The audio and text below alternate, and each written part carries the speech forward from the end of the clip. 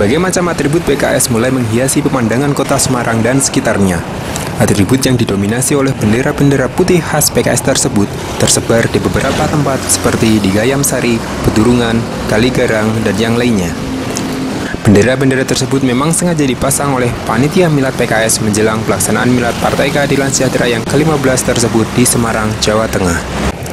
Bendera dengan berbagai ukuran tersebut kini berbeda dengan sebelumnya, Kini, bendera PKS bertuliskan angka 3, yaitu nomor PKS di pemilu 2014 mendatang setelah sebelumnya berangka 8. Dengan semangat angka 3 yang tertera pada bendera-bendera tersebut, harapan dan usaha untuk mencapai tiga besar salah satunya bersandar.